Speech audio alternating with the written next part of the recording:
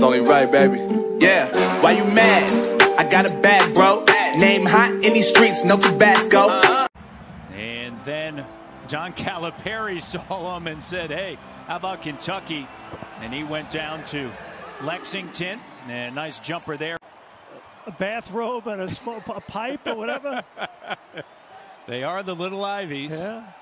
And Pascal Siakam, three pointer. Had 13 games last season for the Windy City Bulls of the NBA G League. Well, he's, he's showing something tonight. And drive and kick, swing. Davis. And this is something as Siakam drills a three. Both teams have made 10 threes. Although you did it more by necessity, Siakam. That tonight's my night, and so I said, Jack, you want me to introduce you? And he said, Yes, please. So I did, and we had a fun night.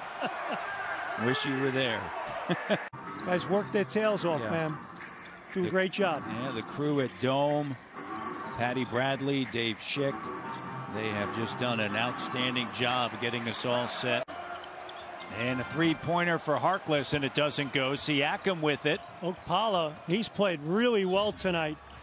And it's fun, fun, funny. Uh, OG Anunoby from the corner.